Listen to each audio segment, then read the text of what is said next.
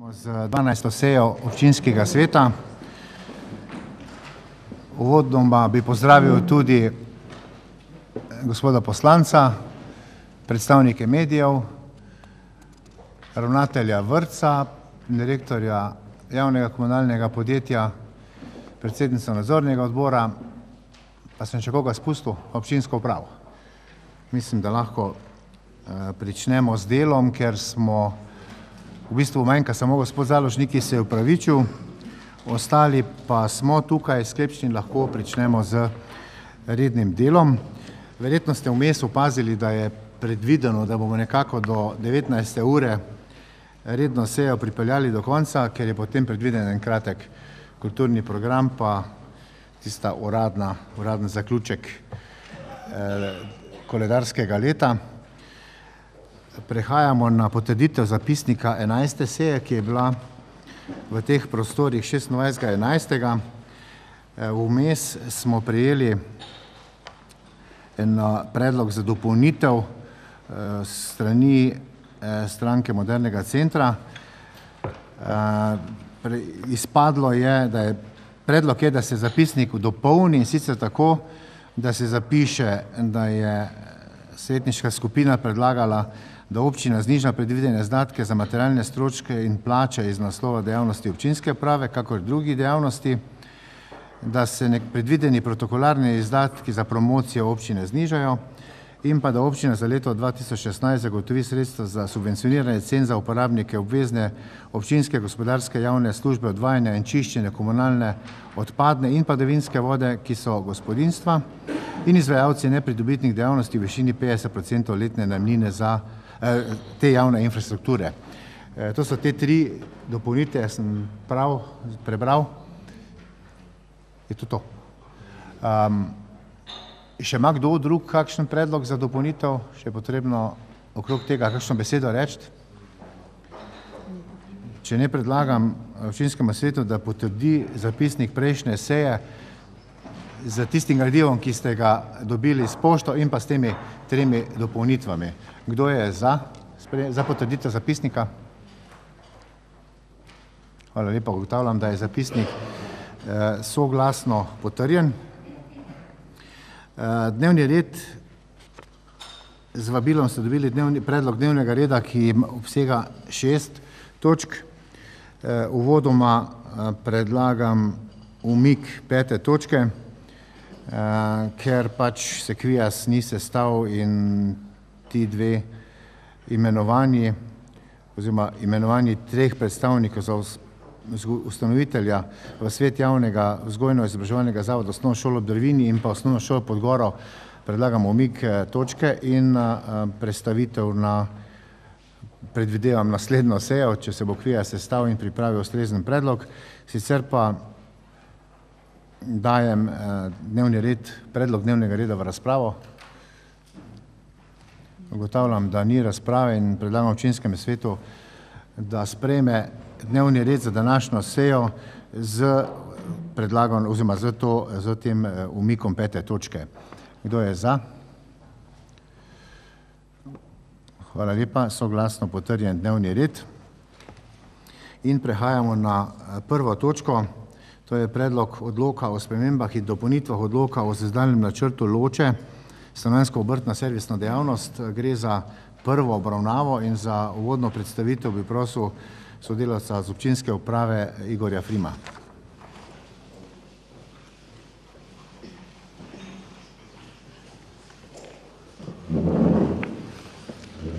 Lepo zdrav.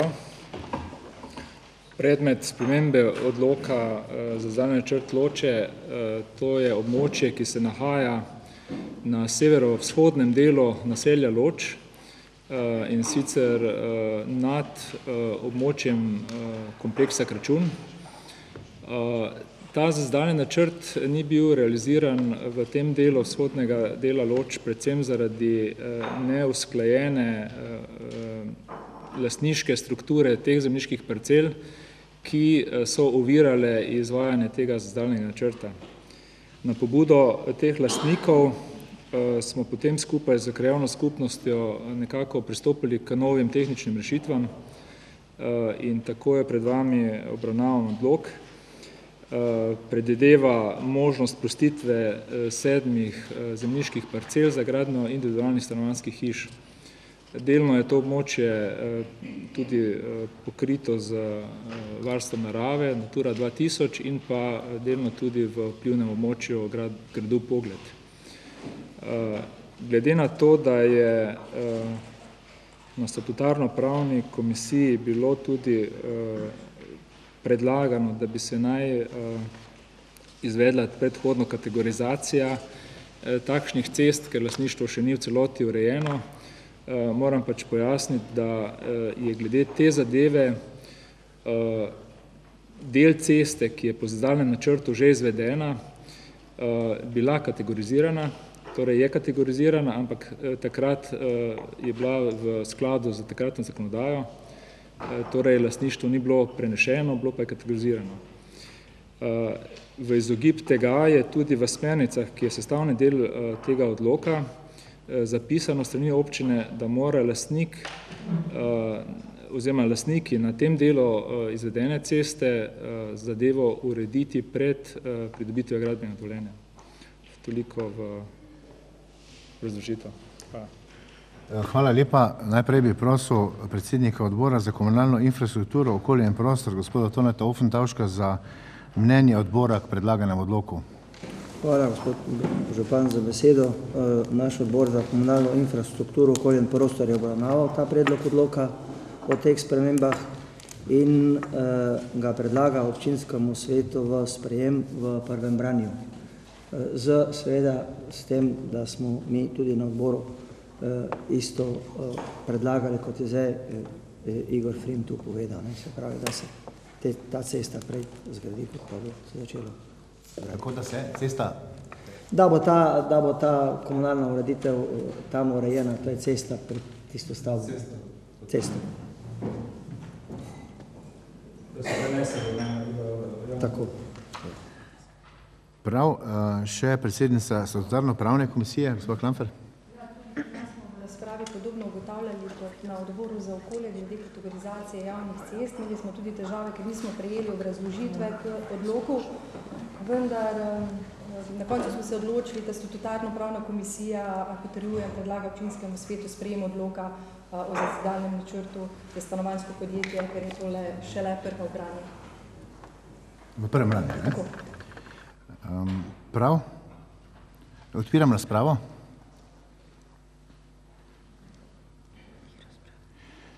Če sem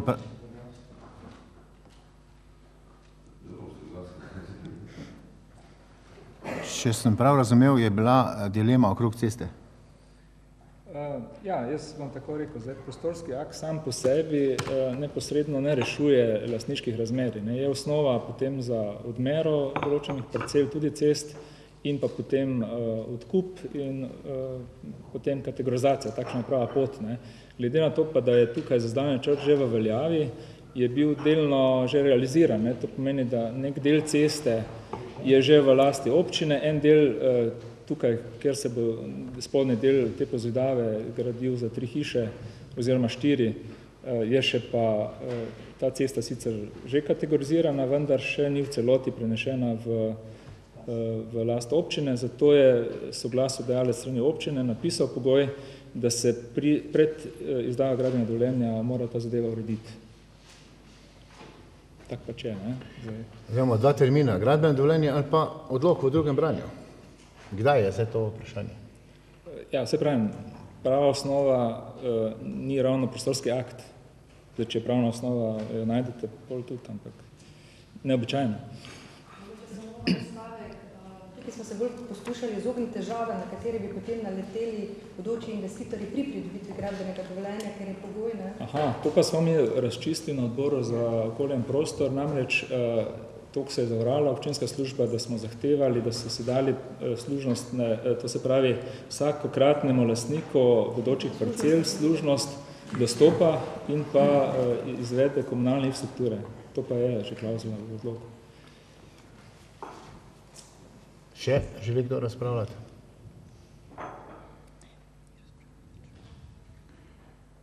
Ugotavljam, da ne.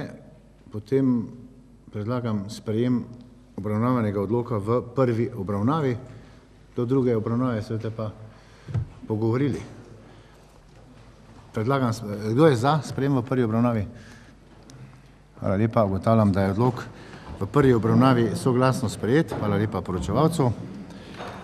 Mi pa prehajamo na drugo točko, to je predlog odloka o proračunu občine Slovenske Konjice za leto dva tisoč šestnajst.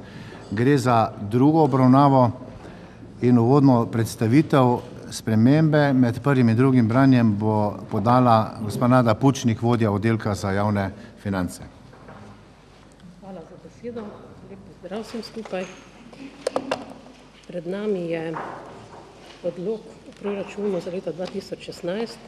Moram uvodoma povedati, da sem že, kar sem že pri prvem branju tudi povedala, da bi morali mi do petnajstega oktobra pridobiti uradno, uradni izračun primerne porabe, vendar so se letošnje zadeve okrog primerne porabe oziroma določitve povprečnine trajale zelo dolgo, tudi državni zbor je potem najprej sprejel zakon o izvrševanju proračuna, kjer je določil petsto dvaindvajset evrov, državni svet je nato izglasoval veto, na kar je ponovno državni zbor ta zakon potrdil v začetku decembra. Ko smo mi pripravljali tole gradivo za drugo obravnavo, dejansko še nismo imeli izračunov, potem ko smo pa to gradivo vam posredovali, tudi obravnavali na odboru za finance, pa smo mi vendarle prejeli uradno uradni izračun primerne porabe na osnovi petsto dvaindvajset evrov. Pri tem izračunu smo ugotovili, da se je povečalo število prebivalcev za cirka nekaj več kot sto in pa spremenile so se tudi vsote koeficientov, ki pa vplivajo na izračun primerne porabe. Rezultat tega je, da se proračun zvišuje na prihodkovni strani za sedeminštirideset tisoč evrov, spreminja pa se struktura prihodkov, in sicer za dvesto devetintrideset tisoč štiristo devetinšestdeset evrov dobimo več dohodnine oziroma bomo prejeli več dohodnine, medtem ko se za sto dvaindevetdeset tisoč osemsto deset zmanjša finančna izravnava. Pri odhodkih pa so spremembe sledeče. Kot smo že tudi pri takrat pri v mesecu novembru napovedali, so se sindikati javnega sektorja in pa vlada tudi dolgotrajno pogajali in rezultat teh pogajanj je bil, da se poleg napredovanj v javnem sektorju, ki so uveljavljena z decembra dva tisoč petnajst, v mesecu septembru dva tisoč šestnajst plačni razredi vrnejo na raven, ki je veljala v juniju dva tisoč dvanajst.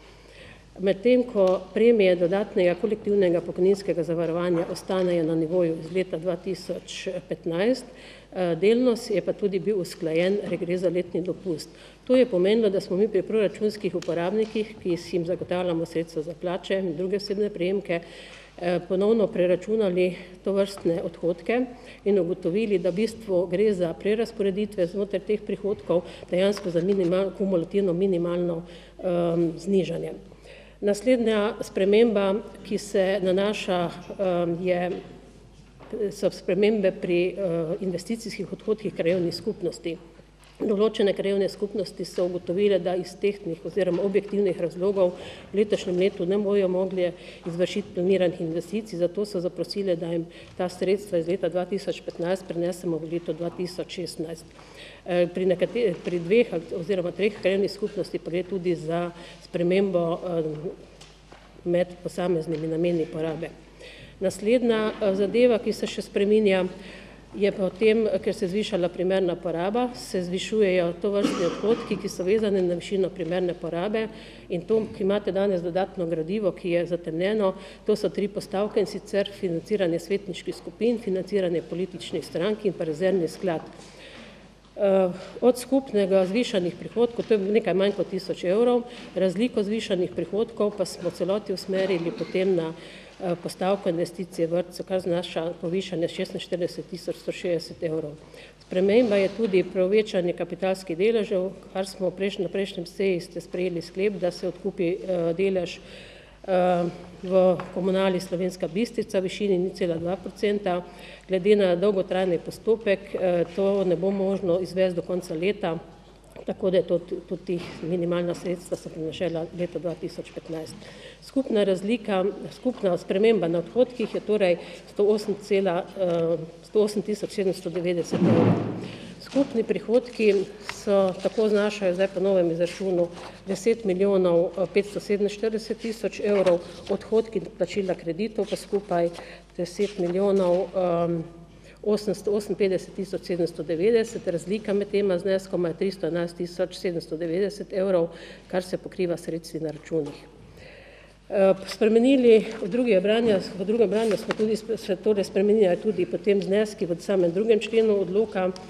Dopolnili smo četrti člen in pa osmi člen, kjer govorimo o proračunskih skladih. Tu je, bom dodatno obrazložitev podala, kaj je proračunska rezerva oblikovana po zakonu o javnih financah. V 49. členu zakona o javnih financah je določeno, da občina oblikuje sredstva rezerve največ do višine 1,5 procentov prihodkov za zakonske naloge oziroma za primerno porabo. In pa ta sredstva se potem pa skladu z odlokom oziroma delno tudi po sklepi župana namenijo za pravo posledic naravnih nesreč, kot so poplave, suše, žledolom in podobne naravne nesreče.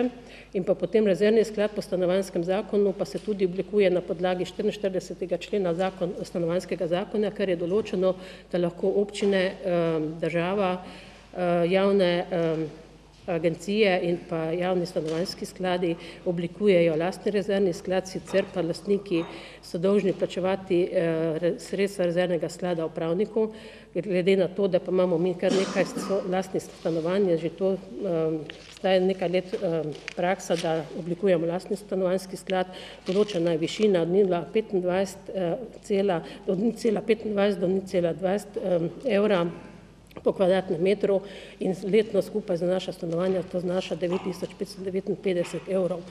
Namen porabe je pa podoben kot pri je tudi za za tiste nujne izdatke, ki pač v prvotnem načrtu niso niso predvideni. Potem smo dopolnili tudi deseti člen in pa dodali pa smo tudi enajsti člen. Na podlagi predloga iz prejšnje, na prejšnji seji smo dopolnili tudi naziv proračunske postavke Vzdrževanje mestnih središč, ki se po novem imenuje Vzdrževanje mestnih središč in drugih javnih površin. To bi zdaj bile bistveni poudarki oziroma dejansko spremembe od prvega branja.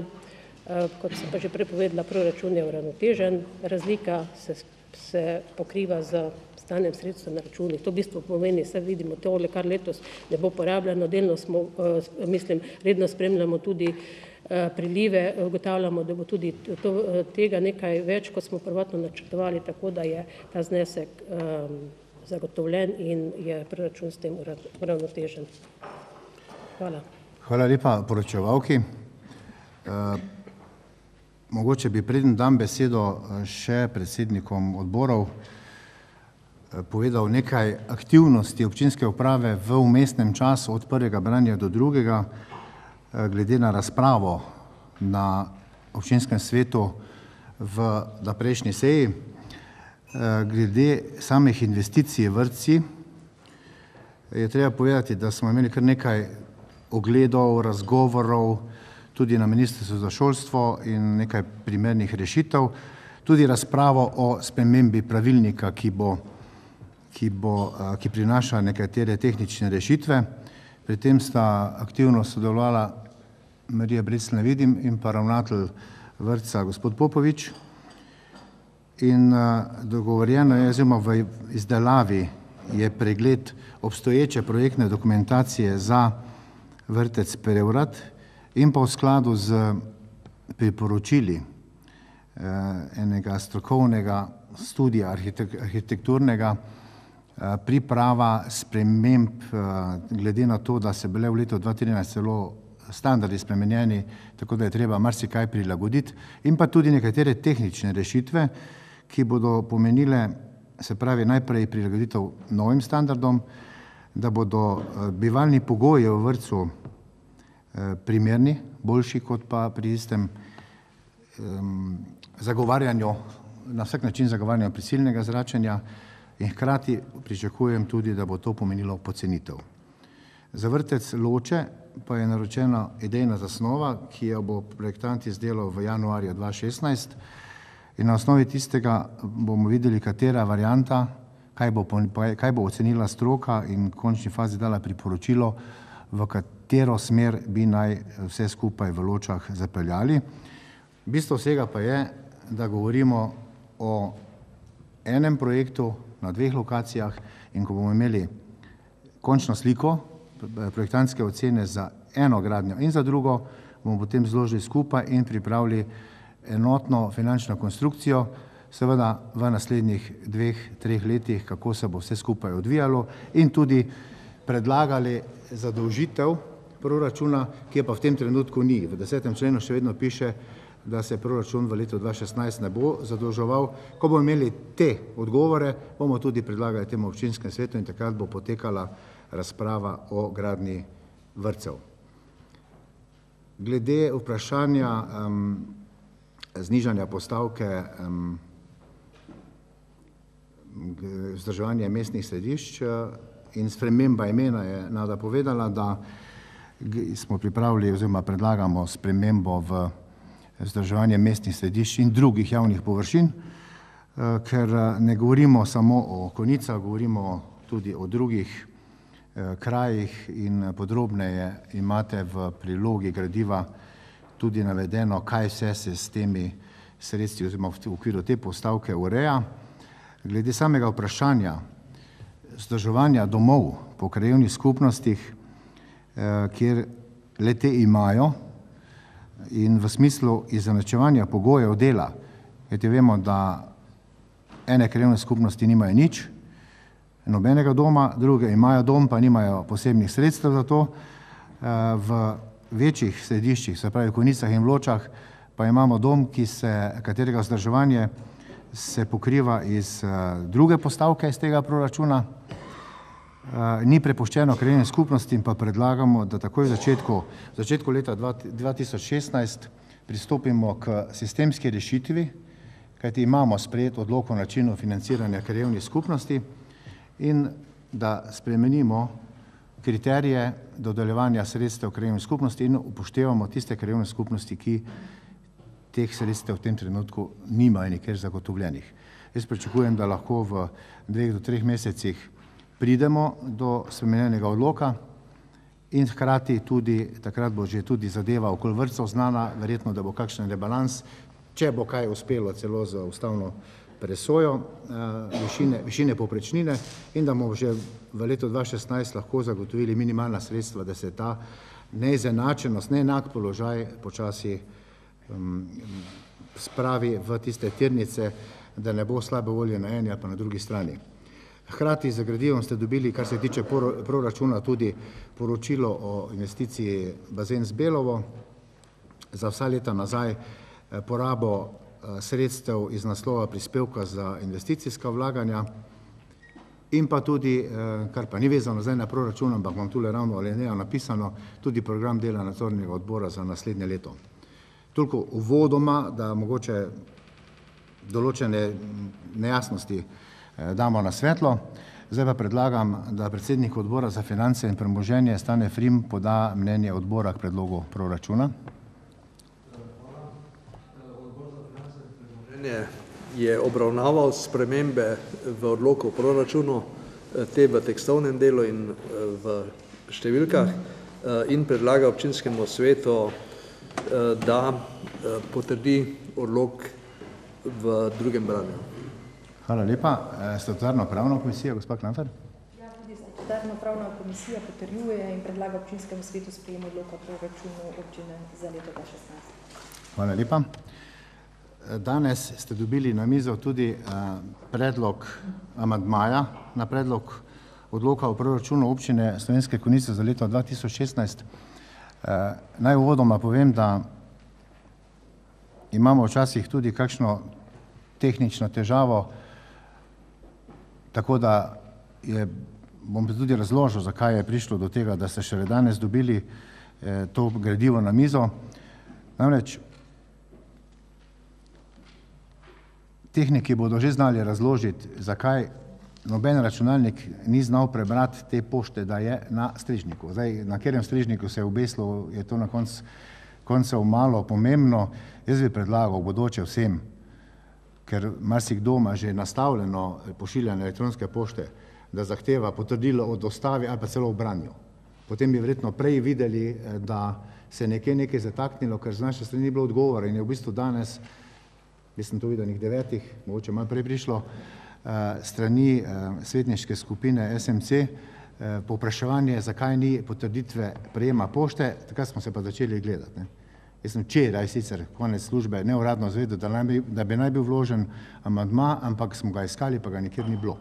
Tako da, mogoče samo v pojasnilo, zakaj je danes šele to preletelo na, na uh, mize. Zdaj pa prosim predlagatelja, da poda uvodno obrazložitev.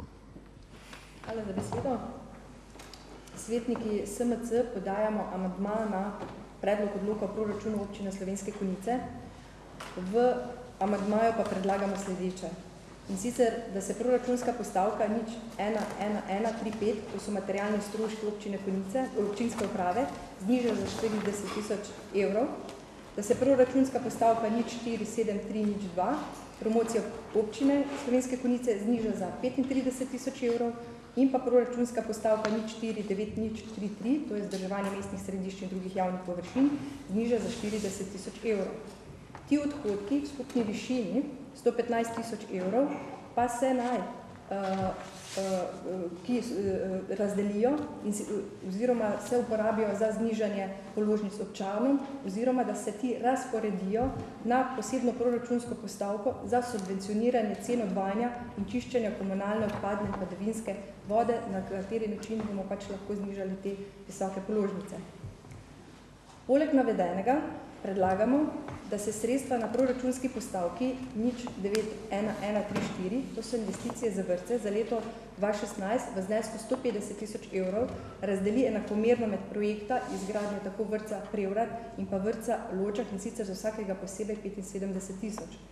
Enaka razporeditev za leto 2016 se naj popravi tudi v načrtu razvojnih programov. Poleg tega se pa naj v načrtu razvojnih programov uh, tudi razdeli tudi znesek, in sicer 3 milijone 750 tisoč, ki je predviden za gradnjo vrca Prevrat in sicer na milijon 875 za vrtec Prevrat in pa milijon 875 za vrtec Loče. Namreč um, za leto 2017 in pa 2018 je v načrtu razvojnih programov napisana nula za uh, projekt izgradnje vrca Loče. Zakaj smo predlagali na pol, mogoče to še uvodoma obrazložim. In sicer, eh, kot ste že uvodoma gospod Župan povedali, vrednost investicije v tem trenutku še ni znana, znana bi naj bila nekje v začetku leta, eh, zato se nam je zdaj tale trenutek zdelo najbolj optimalno, da damo sredstva na pol, potem pa se že z rebalansom, koliko bi bilo potrebno prenašajo z ene postavke eh, na drugo, namreč v obrazložitvi ste napisali, da naj bi se dva vrca gradila etapno, etapno je zelo splošna beseda in lahko bi pomenila marsikaj, med drugim tudi to, da dvakrat podaljšamo gradbeno dovoljenje, dokler nam do konca tudi ne poteče. Kar se tiče obrazložitve, osnovni razlog predlagane spremembe je ta, da želimo razbremeniti občane glede previsokih cen storitev odvajanja in čiščenja komunalne padavinske vode ter znižati porabo materialnih stroškov ter tudi uh, odhodke za promocijo občine Slovenske konice. Prav, na, prav tako tudi upozarjamo na dejstvo, da so stroški za vzdrževanje in urejanje mestnih središč v višini 190 tisoč absolutno previsoki. Uh, ta postavka, ki smo želeli jo že znižati lani, uh, smo prav tako, je bila predmet našega amandmaja po proračunu za leto 2015. Namreč menimo, da pometanje, pobiranje odpadkov, čiščenje pločnikov, košnja zelenih površin, praznjenje košov, urejanje gredic, nekako ne more znašati oziroma predstavljati stroška v višini 190 tisoč evrov. V obrazložitvi ste napisali, da tudi notraj tukaj sanacija posledic žleda, kolikor se za to nameni, ni transparentno, v vsakem primeru gre pa zelo in, visoko investicijo, ki je seveda v tem času neprimerna. Kar se tiče zvišanja materialnih stroškov ter stroškov za promocijo občine Konice v smislu protokolarnih zadev je včasih, ko na drugi strani uh, obremenjujemo občane z višjimi uh, dejatvami za nas absolutno nespremenljivo. Uh, prav tako nasprotujemo porabi denarja za uh, naročilo kakšnih novih strategij, namreč občina Slovenske Konice že ima agendo 2020, strategijo razvoja občine Slovenske Konice, v kateri tudi se, uh, je tudi poglavje, ki je posebej namenjeno razvoju turizma v občini Slovenske Konice. Zdaj, rezultati doseganja ciljev teh uh, strategij se ne merijo, Eh, in se nam zdi tudi nepotrebno vlaganje dodatnih sredstev v nove teoretične dokumente in v tem trenutku tudi popolnoma nesmiselno. Eh, vse te predloge moram reči, da smo že podali k, v predlogu, k predlogu proračuna za prvo branje na prejšnji seji, Žal, gospod Župan nanje ni odgovoril, prav tako tudi niso bile, ti predlogi niso bile zavedeni v zapisnik, zato smo tudi predlagali danes doboldnitev zapisnika in tudi obžalujemo, da nismo prejeli obrazložitve k svetniškim predlogom proračuna, ki jo pripravi gospod Župan in je tudi del tega gradiva, ampak na naše predloge obrazložitve nismo prejeli. Mogoče povem še samo kako smo nekako si predstavljali to finančno podlago, namreč uh, uh, občinsko pravo smo prosili za podatek, koliko znaša najmnina za gospodarsko uh, infrastrukturo, torej za čistilno napravo. Uh, od občinske prave smo dobili podatek, da znaša ta v nekje višini 18.797 tisoč evrov, kar na letni ravni pomeni 225, dobri 225 tisoč evrov. S tem, da moram tukaj povedati, da, tuk, da je tudi tukaj so upoštevani zneski samih gospodarskih subjektov. Predlagani znesek tega, ki, ki bi ga dosegli za znižanjem predlaganih postav, 115 tisoč, nekako to predstavlja več kot 50 znižanja subvencioniranja stroškov povezanih z najemnino, uh, namreč subvencionirajo se lahko samo gospodinstva in pa neprofitne dejavnosti, namreč v skladu za državno uredbo gospodarskih dejavnosti uh, ni možno financirati, uh, seveda vse skupaj pa v, uh, v smislu znižanja položnic v delo, ki se nanaša na omrežnino. Mogoče zaključek samo še dva stavka. Uh, Cilj sprememb predlaganega amandmaja ni čist nič druga kot razbremenitev občanov visokih položnic po zgledu um, ne nekaterih, ampak večine slovenskih občin ter delna racionalizacija poslovanja občinske uprave. Prav tako smo si pa zastavili tudi dodaten cilj in sicer enakovredna in pa pravična obravnava projektov izgradnje vrtcev tako v Loča kot pa v slovenskih konicah. Hvala. Hvala lepa. Bom kar sam podal odgovor na predlog amandmaja. Namreč vedno se nekako lovimo okrog materialnih stroškov uprave, pa bom kar posplošil, mogoče tudi v marsikere druge postavke, kjer pa se premalo upošteva, kaj je pravzaprav vsebina tega. Jaz dopuščam možnost, da gre tudi za nepoznavanje detaljev, ampak vedno znova pa ponavljam, da je sestava proračuna eno strokovno zelo zahtevno delo in vsaj pri naših merilih, kaj gre v proračun in kaj ne, se držimo tega, da mora stvar sedeti. Nič ni izmišljeno in pri materialnih stroških vedno se zaganjamo v pisarniški material, ne more toliko koštati, res je ne, ne more. Pisarniški material košta v tej postavki 6 procentov. Vse ostalo in malo mi je hecno okoli tega zopet razpravljati, ker smo že na prejšnji seji se lovili okrog pojasnevanja, kaj je vse zajeto v tej postavki. Da so tu noter vsi stroški vzdrževanja objektov, vsa elektrika, komunala, ogrevanje, v našem primeru tudi za vse prostore, kjer je um, finančna uprava in pa upravna enota, kjer jih občina plačuje, potem se pa na drugi strani ne fundira. Sam tu se potem ne vidi, zato se včasih zgleda, da so to nenormalni stroški. Seveda, tu je račun v celoti, na drugi strani je pa refundacija, ampak to se v tej postavki ne vidi. Vidi se na prihodkovni strani. Tako da ni tak, ni tak divji, niso kot bi mogoče nekdo ocenjeval. da so tu noter zajeti vsi stroški zavarovanj vseh objektov, licenc za tekoče vzdrževanje programske opreme, kar um, pustimo pošto, to je druga zgodba, to imamo vsi. Uh, izobraževanje zaposlenih, vzdrževanje strojne in pa računalniške opreme, uh, nabava goriva za avtomobile, vzdrževanje in tako naprej. To so samo večji, večji, um, večji sklopi izdatkov. In uh, tudi informacijska tehnologija zahteva svoje. Tu smo mogoče od kakšne upravne enote v predvsej drugačnem položaju, kajti državne službe imajo to centralno urejeno, občina pa se vsaka za sebe mora to urejati in tudi plačevati. Tako da jaz enostavno eh, si ne znam predstavljati, kako bomo se šli eh, informacijsko upravo, pa, pa ne imeli sredstev za to. In tudi, ko pogledamo odstotek eh, stroška uprave, vidimo, da se pogovarjamo o petih odstotkih približno zaokroženo, skupaj z materialnimi stroški pa nekoliko več, govorimo o proračunu. In eh, enostavno, glede na to, da je bilo to že obrazloženo, enostavno ne moram pristati na eno uh, govorjenje o znižanju proračunske postavke, brez da vemo, kaj je vsebina. Tako da, zdaj, amandma je vložen, ok, Odbori so obravnavali, jaz upam, da ste gledali, kaj obravnavate in tudi potrdili. Zdaj imamo tu en takšen razkorak. Potem imamo uh, to nesrečno promocijo, uh, promocijo uh, občine. Povedali smo, da je treba poznati vsebino. Ja, se zdi velik 70 tisoč evrov, kar tekle spustiti v luft. Ampak imamo vključen tudi promocijski material za turistično-informacijski center, Spomnim, da se letos smo ostali brez vseh prospektov in so nas čudno gledali, ko jim nismo mogli dati niti slovenskega prospekta, kaj še v kakšnem tujem jeziku. Da govorimo drugo leto o 870-letnici eh, prve pisne omembe slovenskih konic in je predvidena izdaja enega zbornika, da bomo, če ga ima že občina za 400 prebivalcev, ga bomo tudi mi imeli, zato so predvidena sredstva. Zdaj, ko govorimo o raznih strategijah, Veste, nič čisto tako enostavno uh, govoriti o tem, da jih ne rabimo. Če se hočeš na kakšen razpis prijaviti, pa tudi moraš imeti.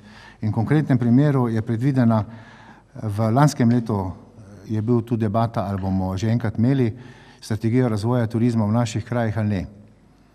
Če se hočeš na kakšen utipljiv ali pa na mehek projekt prijaviti, rabiš strategijo. In v konkretnem primeru se pogovarjamo o turistični destinaciji Rogla Pohorje, skupaj z ostalimi tremi občinami, to je Vitanje, Zreče in pa Oplotnica, kjer bo strategija občine Konice vključena v cel paket. In to je večja, večja zgodba, ki je enostavno, um, oh, jaz mislim, da je to celo premajhno območje, če se hočemo pogovarjati o turistični destinaciji.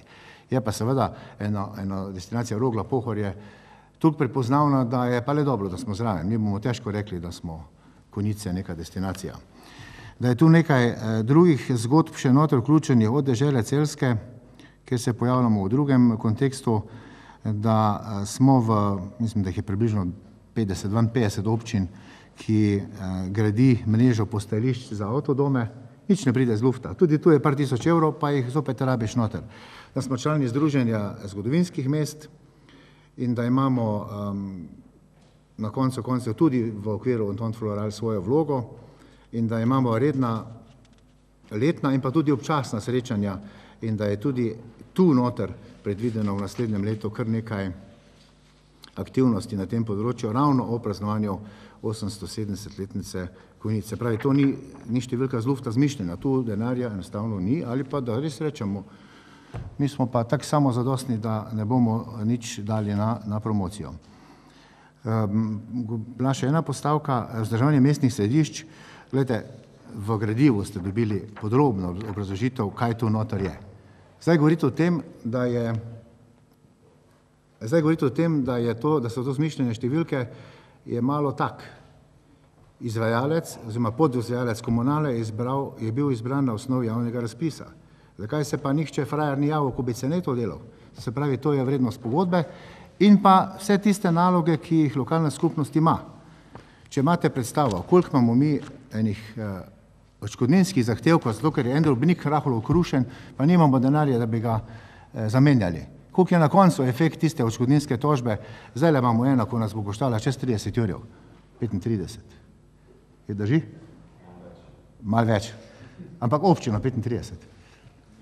No, in da moramo en, en standard pa le ohranjati.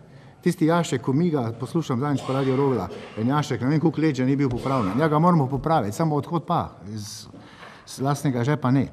Tako da je ta postavka vzdrževanje eh, mestnih eh, središč in drugih javnih površin po novem ima svojo podlago in vemo, zakaj bo ta denar šel. Brez da govorimo, če še pride kje kaj eh, nenapovedanega. Jaz enostavno tu noter ne vidim teh 115 tisoč evrov, da bi jih lahko odvedli sem, brez posledice na drugi strani. In veste, z veseljem bi vsi znižali položnice, če je bilo to tako enostavno. Zavedati se pa moramo, da nimamo razen to, kar imajo krajevne skupnosti za vzdrževanje cest, nič sredstev. Tistih 20 jurjev tam, ko bo na Zbelovski gori nekaj narejenega v okviru enega drugega projekta, je to plunek v primerjavi s tistim, kakšne so potrebe. Povzetek stanja na cestah, javnih poteh in lokalnih cestah iz marca letošnjega leta zahteva 3 milijone pa pol. In povedal sem, da ti razni, razne strategije imajo še, še kako dobro podlago. Če sem vzamemo lokalni energetski koncept, koliko denarja smo iz tistega ven potegnali iz naslova energetskih sanacij vseh objektov šolskih, da se šlo, da smo imeli tu kar lep projekt za Loče na osnovi, na osnovi strategij pri javni svetlavi v Ločah in da se ti vložena sredstva na videz vržena stran, da se še kako obrestujejo, ker drugače pa ne pride zraven. In bomo enkrat morali pustiti strokovno delo tistim, ki delajo v občinski upravi in ki ga znajo zagovarjati in opustiti to, kar bi vsi radi rekli, dajmo položnice čim bolj znižati, pa čim višji proračun imeti. Tako da jaz enostavno iz teh razlogov, ko sem jih povedal, težko pristanem na to, na ta, na tak način reševanja zadev, kot so tukaj zamišljena. Mogoče sam komentar okoli vrtca. Jaz mislim, da je glede na to, kar smo povedali, da je razpravljanje okrog tega premetavanja sem pa tja, je to v bistvu brezpredmetno, ker bomo konkretne številke dobili v naslednjem mesecu ali dveh. In zdaj deliti umetno eno, eno umetno številko, ki je not ostala na naslovi enega starega projekta, ki že zdaj v tem trenutku ne sedi, sedi pa noter, zato da je pač naveden NRP, ki ga bomo spreminjali, o tem pa jaz sploh nimam, ne vidim razloga, no. Ne vidim razloga. Odpiram razpravo okrog predloga amandmaja.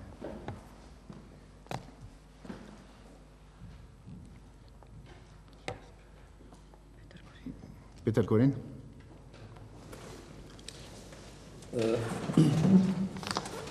Kot veste, se je na prvem branju proračuna več kot polovica svetnikov SDS vzdržala.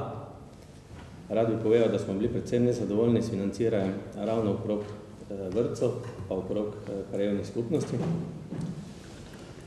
Na tem mestu bi rad pohvalil delo župana.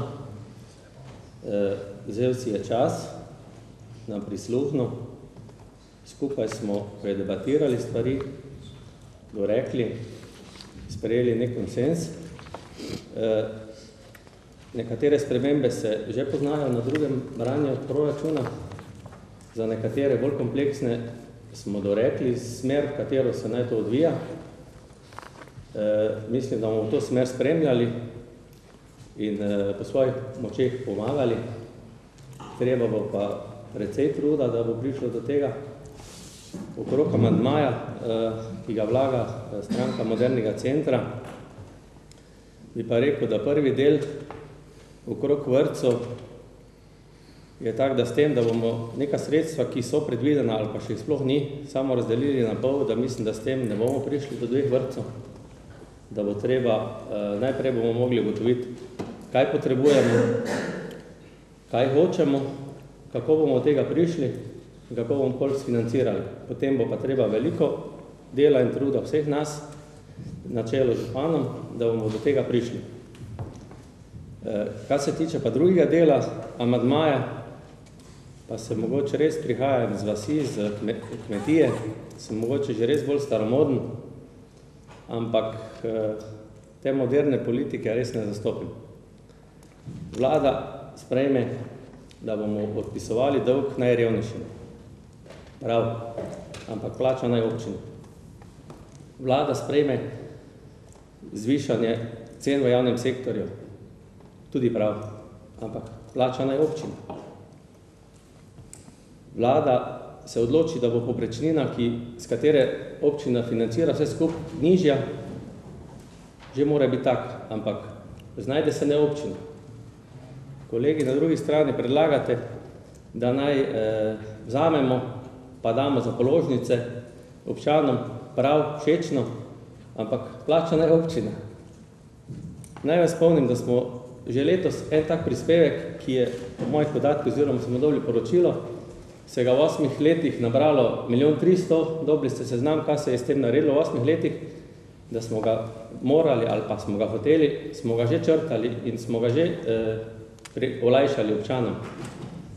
Ampak, če bo smer še takšna naprej, pol se pa res bojim, da še niti enega vrtca ne bomo več postavili, kaj šele dva. Hvala. Hvala. Gospod Nečemer? Uh, jaz moram malo replicirati na vaše besede. Glede, vi zadevo na tak način predstavljate tako, kot da je proračun stvar, ki je že prej zapisana. Stvar, o kateri nimamo kaj debatirati. Stvar, ki je pravzaprav točno določena, ve se, zakaj imamo denar, koliko so stroški in to je to. Če bi na tak način delali proračun, verjetno nikoli ne bi neka ideja, ki je dobra, prišla naprej in se nikoli ne bi projekt izvedel.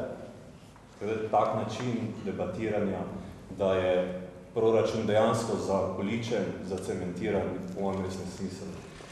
Poanta je pač tem, da pač vsak ima pravico do svojega mišljenja. Mi pač mislimo oziroma predvidevamo in tudi zaradi tega smo utemeljili, da bi naj bile pač neke postavke po našem mnenju prenapihnjene in zaradi tega smo predlagali, da to gre v drugo smer in smo vse ustrezno obrazložili.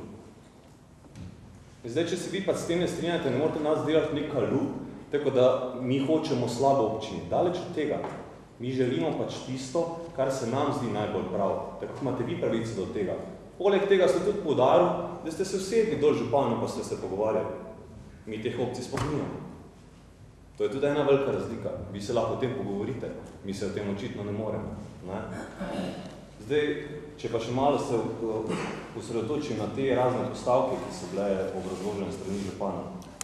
Res je tu noter velik postavk, ampak spet se vsak posamezno in posebej odloča, katera je prioritetna, zakaj bojo letos licenčnine plačali, zakaj jih letos ne bi. To je pač odločitev, tako kot je pri vsaki oziroma pri večina postavk. Mi se zavedamo, da se določene ne morejo spremeniti da, jih, da so enostavno zavezane, občina, občinska uprava zavezane, da jih morajo plačati. Ampak neki prostora pa je. Ne? In če ne bi bilo tega prostora, mi tu sploh ne bi nič debatirali. Bi tu sedeli, pa bi samo rekli, kljukica, v redu, to moramo sprejeti, zdaj, ker nimamo možnosti. Ampak glede na to, da so možnosti, zaradi tega tudi mi delamo amandma. In to je glavni razlog za to. Tako da, to neko obravnavanje, tako da mi eh, hočemo slabo občini oziroma da predlagamo nekaj, kaj je praktično nemogoče, čist nepravilno. Hvala za besedo. Hvala. Še želi kdo razpravljati? Gospod Klanfer? Moram reči, da me zelo preseneča ne, ta, um, ta komentar gospoda Korena. Namreč, glede na to, da ste, me, pre- ste nas pred parimi meseci klicali v loče in nas iskali naše soglasje pri pomembnosti vrtca loče, v načrtu razvojnih programov pa je napisano, da se v letu 2016 nameni 17 za idejni projekt. Idejni projekt je samo skica, Za leto 2017 je napisana nula, za dva, leto 2018 nula in za leto 2019 nula. A to vas ne moti? Ja, ampak poglejte, županova beseda ni uradni dokument. Odlog sprejema, zakaj, spo, mislim, zakaj sploh sprejemamo odlog? Odlog sprejemamo zato, ker rabimo uradni dokument. Gospod župan lahko da obrazložitev, eh, kot dopis, kot, kot en list papirja, Uradni dokument pa izkazuje nekaj drugega, kar gospod župan govori. In vas to ne moti. Pa tudi, kar se tiče ostalih investicij, ni res, kot je rekel gospod župan, da mi nočemo biti le, oziroma da, da, da, da so nula.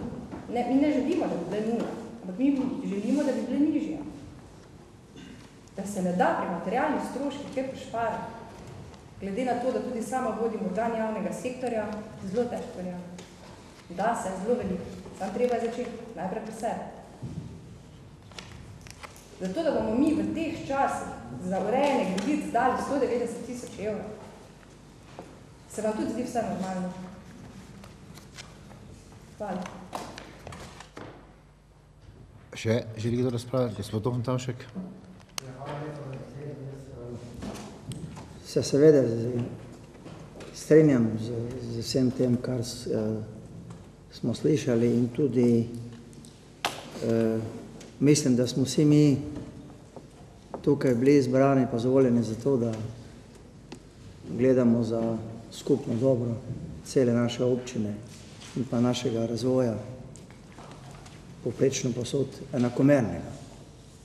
Moram pa reči to, da uh, sej uh, govorim iz krajevne skupnosti, ki je koliko toliko urejena, vendar vam moram povedati, da ne smemo pozabljati, koliko je tu ur in sredstev občanov vloženih, da se na tako središče lahko vzdržuje, pa se v bodoče večno to ne more tako iti, ker spet smo na občanih, tisti morajo pač sredstvo dajati. Ne.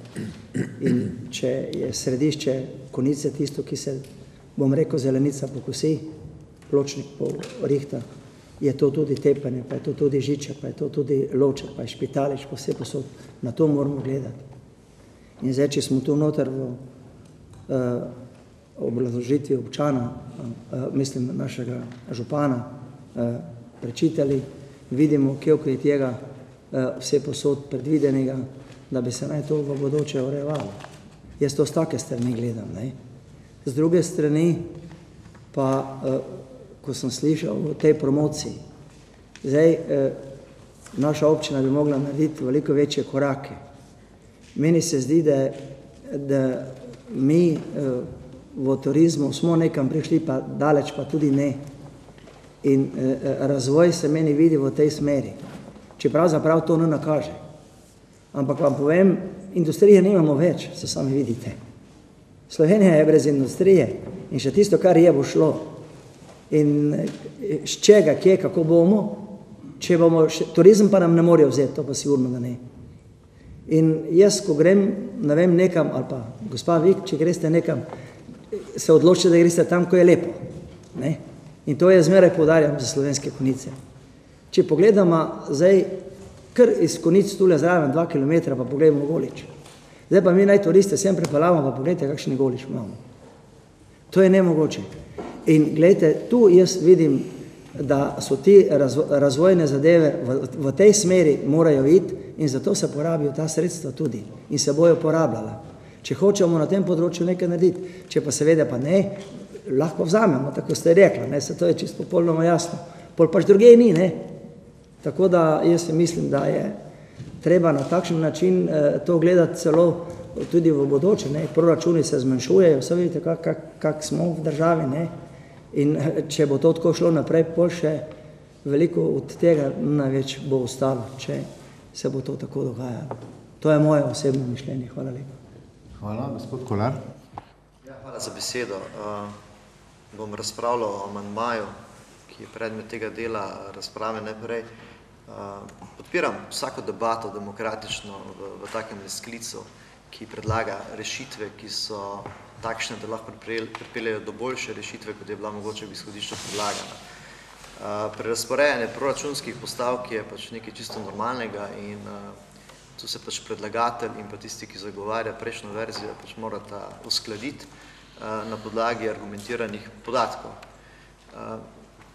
Jaz se bom dotaknil točke promocije občine in pa tele naše žalostne strategije turizma, ki se debatira tako ali drugače, uh, zaradi tega, ker ker se tudi veliko o tem pogovarjamo na odboru za gospodarstvo in turizem. Uh, jaz osebno menim, da je postavka promocije občine bistveno preniska uh, in da če želimo mi narediti neki preskok, o katerem je tudi kolega Offentavšek prej govoril, bi bilo treba tukaj noter vložiti petkrat toliko.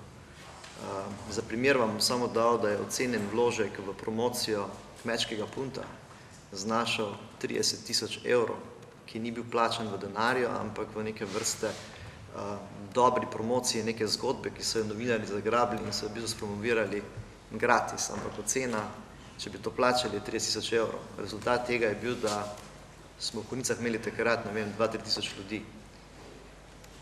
Promocije so močne postavke, ki ti nikoli ne dajo neke garancije, da, da boš z njimi lahko res dosegel rezultat, predvsem zaradi tega, ker ne veš, oziroma, če nimaš pravih ljudi, ki znajo to dobro spelati in dobro ta denar obrniti. Tukaj sem pa kritičen do tistega dela a, sredstev, ki so noter v proračunu za promocijo občine, a, ker se mi zdi, no, ko bomo pogledali tudi realizacijo za 2015, da drobimo ta denar res po koških in ga namenjamo za vse žive stvari, ne, namesto da bi ga zgrupirali pa se odločili in jaz verjamem, da se bomo odločili, če bomo delali skupaj. Zdaj danes je bil neki poziv ravno k oblikovanju nekih predlogov za strategijo tega našega turizma podan. Jaz se zelo intenzivno angažiram pri tem, da bi tudi sodeloval in bom sodeloval, da naredimo eno zadevo in da pripravimo ene tri projekte, ki jih želimo mi promovirati kot konice in kot širša skupnost in v njih vlagati dosti denarja za promocijo, ki bo prinesli tudi na koncu neki turistični učinek. Zauzemal se bom jaz osebno tudi, da, da se tistih minimalnih financiranj tukaj tam zaradi lepega in zaradi, zaradi mogoče delanja uslug nekaterim promotorjem turizmom narekovajo po par sto evrov znebimo in da ta sredstva res vključimo v neko masovno promocijo.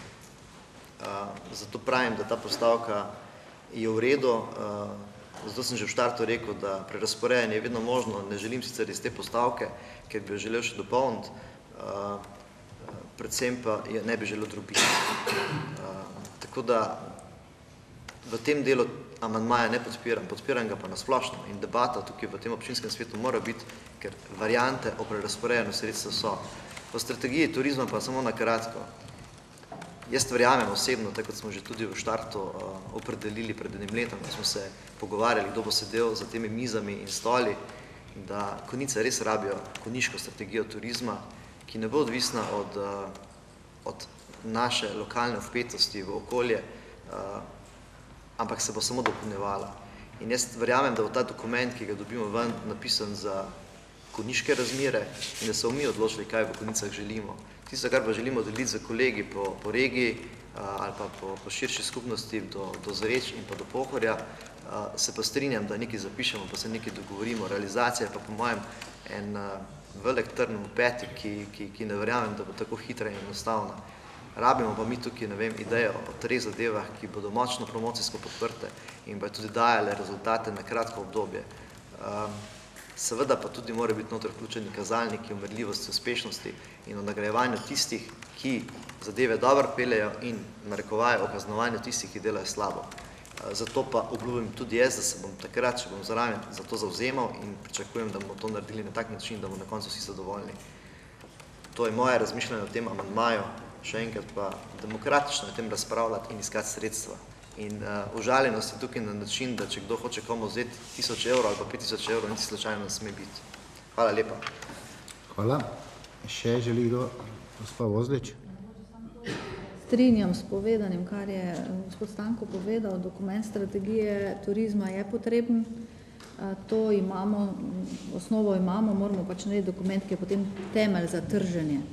Mogoče pa pri urejanju mestnih središč pa samo to, da ne smemo tudi pozabiti, da v bistvu, ko se ureja oko, mesto in okolica, moramo vedeti, da to delajo naši občani, da so tu zaposleni in da na koncu konca tudi delež ostane v občini. No.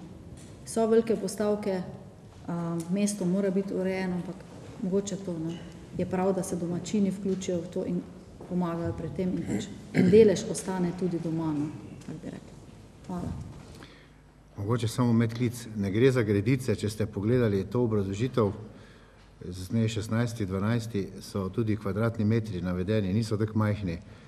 In še enkrat podarjam, ne gre za zmišljene številke, zakaj pa se takrat, ko je bil razpis, ni pojavil nekdo, ki bi bil pripravljen za manjši denar to delo upraviti. Točno je register, katere površine, katere travnate površine, katere so gredice, kateri pločniki, avtobusne postaje, kaj treba tu noter narediti.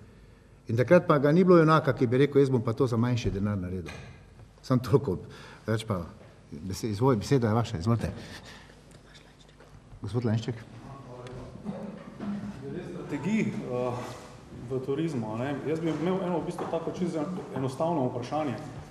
Uh, občina Eh, tudi nekaj sedanjih svetnikov je pri tem sodelovala, ko sem videl dejansko spodaj, spodaj eh, navedene pripravljalce pri pripravi tako imenovane agende 2020. Eh, zanima me, čemu je ta dokument namenjen, noter so za moje pojme zelo natančni cili opredeljeni. Jaz bom mogoče na področju turizma samo tri tukaj naštel, V občini bo, bo turizem s spremljevalnimi dejavnostmi zagotavljal, zagotavljal najmanj 300 delovnih mest. Potrošnja obiskovalcev bo presegla povprečje za Slovenijo, v občini bomo razpolagali z 500 ležišči više kakovosti. To so krasni, konkretni cili. Eh, zanima me, kje smo, kaj bomo do 2020 na tem področju naredili, ali bomo te cilje zasledovali, ali bo zdaj neka nova strategija, bi rekel, čist na novo odprla, neka področja. Toliko bi samo. Hvala. Zdaj, ali se bomo vrnili k proračunu ali bomo razpravljali o, o strategijah? To je zdaj pardon, se upravičujem. Eh, stroški predvideni za novo strategijo so pač del uh, proračunskih izdatkov, ki so predvideni. A ne? Mi se sprašujemo o smiselnosti, a ne? vi pravite na nek način, da dejansko stroški, ki se vložijo, se vrnejo skozi neka druga vrata, a ne? ampak mi bi pa radi videli, da tisto, kaj je v strategiji zapisano, a ne? to se pravi vsebinsko, da bi se zas, zasledovalo, to se pravi, da bi te strategije imele tudi nek dejanski uh, merljiv učinek. A ne? V tem smislu se upračujem. Ja, ok, ok, bojo. Ampak ta strošek za strategijo razvoja turizma je plul neko morje teh 14 jurjev za občinsko in za skupno v primerjavi s tistim, kar na enem razpisu dobiš. Uh, gospod Rdajc? Torej se vidi, da sem se najbolj zavzemal za to, da bi našim učanom to subvencioniranje glede teh cen komunalnih storitev uveljavili, uveljavili pa nismo uspeli. Ne. Zdaj mene pri tem amandmanu moti to, ne, da ga dobimo danes na mizo, ne, in me moti to, da v procesu oziroma postopku od prve obravnave do sedaj ni bilo enega sestanka, kjer bi se o te stvari eh, verjetno lahko pogovarjali. Ne. Vsaj, bom rekel, mi niso bili na to povabljeni. Ne. Eh, zdaj, o samem amandmanu pa tole, ne, gledajte, eh, tako je rekel gospod Klamfar, posod se da kaj znižati, ne, ampak mora biti za to pripravljenost. Ne.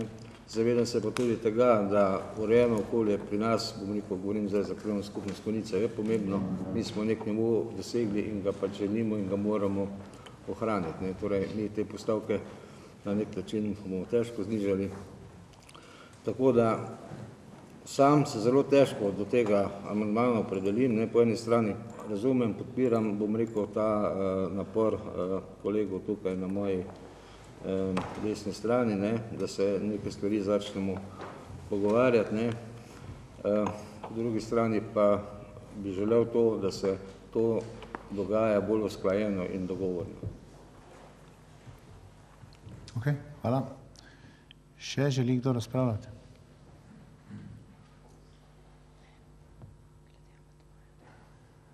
Govorimo seveda o predlogu amandmaja. Poglejte, strinjam se z marsikom, ki pravi, o marsičem se treba pogovarjati, iskati rešitve, ampak razpravljati o subvencioniranju cene čiščenja odpadne vode na takšen način, ko nimaš vira, je brezpredmetno.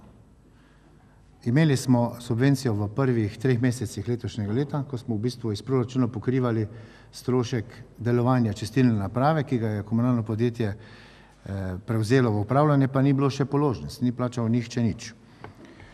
In uh, govoriti pa o tem, da, kot sem že dvakrat, trikrat danes povedal, pa ne mislim več dosti razpravljati, če je podrobna obrazložitev, zatem so tudi dokumenti, pa se nekdo kdo, kdo prije pogledati in ko mi je pripeljal enega kubaca, ne to naredil.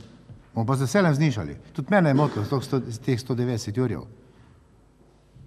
Ampak treba pogledati vsebino in razpravljati o tem, o vsebini, eh, bre- brez da veš, kaj je vsebina. Razpravljati o zniževanju cen je pa za mene, bom rekel, kaj. Jaz vidim, da lahko zaključim razpravo ali ne. In za mene je eh, predlog, da bi zniževali te tri postavke, nespremljiv. Vse drugo ostalo pa ja, če imamo možnost, znajmo znižati ceno čiščenja. Ampak jer ne vidim. Pa če bi imeli 150 jurjev, bi jih prvo vrsti dali v eno od cest, da se ne kjer še noter raz, razbil, pa da ne bojo zopet odvetniki nam pripeljali, kjer ga bomo treba odškodnino plačati. Jaz eh, predlagam občinskem svetu, gospod Nečemer, replika? Jaz bi samo eno stvar še dodal. Amandma, kot je predlagan, mi smo se pač odločili za določene postavke, ki so se nam zdele smiselne, da bi se znižali.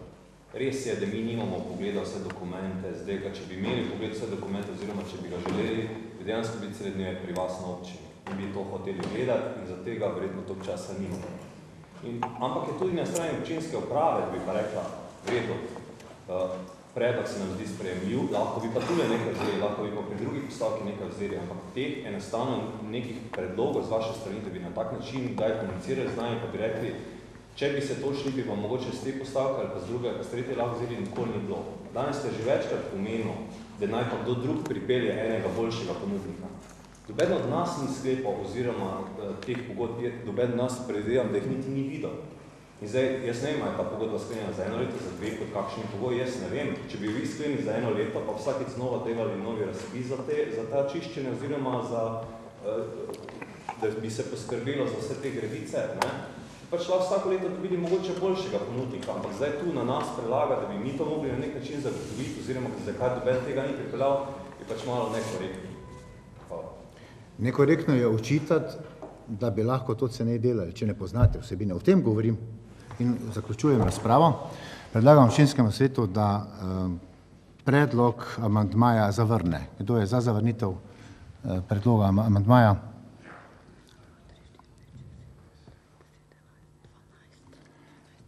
Dvanajst za, proti takšnemu sklepu, proti sklepu, s katerim se zavrne amandma. Ja, govorimo o amandmaju. Ne, jaz sem rekel, kdo je za to, da zavrnemo predlog amandmaja. In ta sklep je bil, so dvignali roke tisti, ki so za to, da se pre, amandma ne upošteva, da ga zavrnemo. Po- Potem pa pravna formulacija, kdo je za amandma? Pet pa, pet za. Kdo je pa proti takšnemu, ne, sej smo, Vse smo vse. Zdaj smo vse, kaj me zdaj motiš? Ugotavljam, da je amadma um, z 12 glasovi uh, za zavrnitev, pa petimi za zavrnjen. Uh, odpiram razpravo pred um, o celotnem proračunu. A gospod Štefanič? Jaz imam samo eno vprašanje, preden začnemo globje prodirati v proračun. E, lahko svetniki, gospod Župan, mislimo svojo glavo? Zakaj je to vprašanje? Ja, pričakujem odgovor. Vse, vse ste mislili, vse ste dali amandma, kaj? Lahko jaz sem pa, jaz sem pa povedal, iz katerih razlogov ni sprejemljiv. Ne, Pika. ne, postiva tisto. Vprašanje je splošno, če lahko razmišljamo svojo in mislimo svojo glavo. Ja ali ne? Na to vprašanje ne me provocira na tak način. Še želi kdo razpravljati? Namreč ali samo danes ali kadarkoli. In če seveda to velja tudi za kolege tam čez. Kdo Če želi, razumete to kdo želi razpravljati o proračunu? Želi kdo razpravljati o proračunu kot celoti? Uh, gospod Iden, še pa gospod Frim.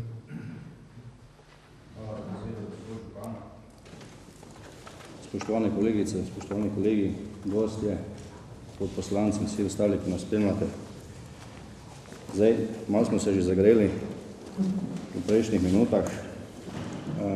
Seveda vsi, prav gotovo je znano, da, da smo težko vsi 100% v, v, v proračunu oziroma, da bo nekako ravnotežen.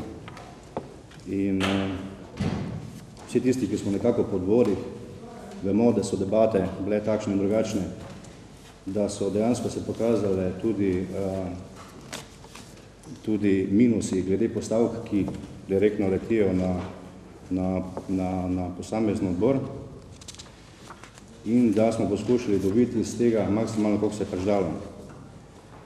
Seveda, jaz opažam, da gre tu za neke druge stvari, ne? neki širši razlog, zakaj ne moramo proračun zaključiti lažje in hitreje. Ne? In to je to, ko se država oziroma vlada nekako, jaz moram reči tudi kar mačehovsko, odnaša do občin po Sloveniji. To znižanje po prečninu oziroma glavarine mislim, kar dosti botruje temu, da se težko soočamo z proračunom in ga tudi končno fazi tudi sestavljamo. Ne? Glejte, vlada ponuja 522 evrov na glavarino, občine kako zahtevajo 536, to je tista neka nižja spremljiva vrednost. Če izračun naredimo, je to neki dobri 200 evrov, 200 tisoč evrov, ki nam bi še kako koristili. 625 evrov pa nekako postavka, ki bi morala biti, bi lahko konkretno govorili o nekih večjih investicijah. Ne? To je pa za našo občino verjetno krepko čez milijon. To jaz mislim, da je danes tudi debata, ki bi lahko potekala v tem prostoru. Dejansko dopuščam možnost, ko je kolega prej pred mano povedal, da se neke spremembe pri postavkah počnejo oziroma, da se nekako spremenjajo. Tu govorimo o nekih tisoč evrah. Nam pa država dejansko jemlje milijone po Sloveniji. In to je tudi prav, da vsi tisti, ki nas spremljajo in gledajo danes, da se tega zavedajo in da vejo. To je ena stvar. Druga stvar glede vrtca je pa tak. Jaz moram nekako izraziti, no neko ravno veselje, ampak zadovoljstvo, da se danes pogovarjamo, glede na besede, ki jih je gospod Župan predal, da se ne pogovarjamo o občini oziroma o razvoju občine dveh hitrosti. Govorimo o nekem projektu, ki naj bi sporedno nastajal v Ločah in v Konicah. To je nekako zagotovljeno in jaz sem pripravljen to jamsko tudi sprejeti.